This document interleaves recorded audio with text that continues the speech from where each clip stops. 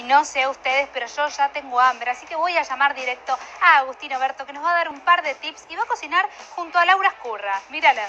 Aló, aló, Agus. Bueno, aquí soy Lau. ¿En qué andás?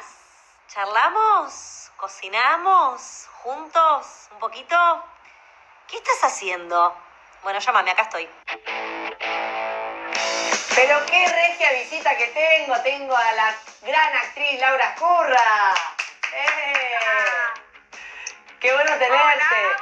Vamos a hacer algo muy sencillo, muy sencillo y eh, de la cocina francesa. Un strudel, pero de hongos. Lo primero que vamos a, a- a poner es 25 gramos de manteca a derretir en el wok.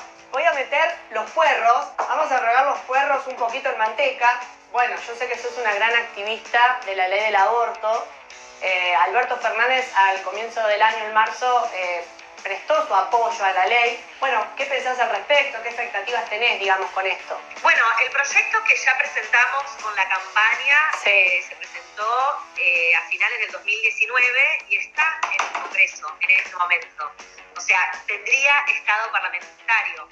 Alberto tiene una intención, comprendiendo Sí, y escuchando el enorme movimiento feminista que está hablando hace varios años ya, más puntualmente estos dos últimos años respecto a este tema. Eh, el tema es que eh, aparentemente él estaba preparando otro proyecto, no Sí. el proyecto que presentó la campaña. Sí. Eh, la campaña por el derecho al aborto legal, seguro y gratuito lleva muchísimos años trabajando. Este es el octavo proyecto que presenta, que presentó el año pasado, y este año Alberto y sus asesores eh, eh, aparentemente estaban trabajando en otro proyecto, en otro proyecto que no es necesariamente el que se presentó y que tiene estado parlamentario en este momento en el Claro. Congreso. La intención está buena, eh, queremos conocer de qué se trata ese nuevo proyecto, eh, porque no empezó la pandemia y de este tema se dejó de hablar. Entonces sería buenísimo que puedan compartir desde el Ejecutivo cuál es el, el proyecto que van planteando respecto a este tema, que obviamente tiene que ver con, con la salud de las mujeres y por supuesto con la justicia social. seguimos cocinando. Mirá, te muestro. Mirá los portobelos y champiñones que le mandé al wok, se ven ¡Qué espectaculares. Este, le vamos a poner un poquito de pimienta negra. Vos este, tenés una huerta, que me mandaste un par de fotos por ahí.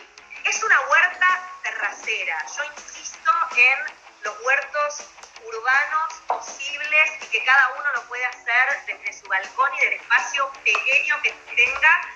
No hay excusas. Como te mostré, yo Tal tengo rúculas en macetas que son eh, jardineras. A ver, que cualquiera tiene en su casa. Para no perderla a la gente con, con los ingredientes, le pusimos sal, puerro, champiñones, portobelos cortaditos, un poco de pimienta negra recién molida y un poco de pimentón. Yo a todos mis invitados, antes de cerrar la nota, les pido que me den su toque gourmet. O sea, ¿qué les gustaría que le sume? Ya tenemos acá unos portobelos, champiñones, puerro, manteca, especias, pero confío en tu, en tu gusto culinario. Para mí lo que puede sumar, sobre todo en nutrientes, eh, igual está muy bueno todo, eh, pensaría en algún tipo, en algún tipo de semilla. Semillas. ¡Plim! Acá estoy.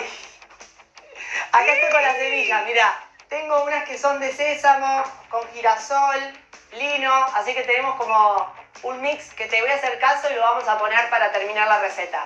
Te mando un beso enorme, me encantó tenerte y espero verte pronto en persona y que podamos o cocinar o irte a ver al teatro nuevamente, lo que sea, pero espero verte pronto.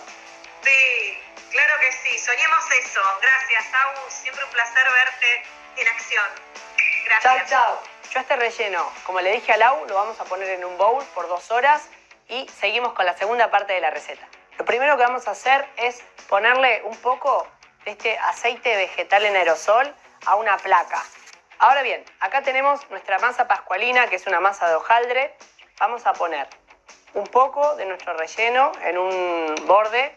Vamos a poner acá, a ver, queso rallado en hebras. Tomamos este extremo y giramos lentamente y vamos presionando. Giramos el borde para abajo. Ahora vamos a barnizarlo con una yema de huevo. Barnizamos bien las semillitas que le van a dar también un poco de crunchy y nutrientes. Yo esto lo voy a meter en una placa en el horno a 180, 200 grados centígrados por unos 20 minutos. Este strudel quedó una bomba. Bueno, yo voy a tomar mi vinito. No se olviden de seguirme en Instagram como Agustín-Berto y seguimos con más chicas guapas. Salud.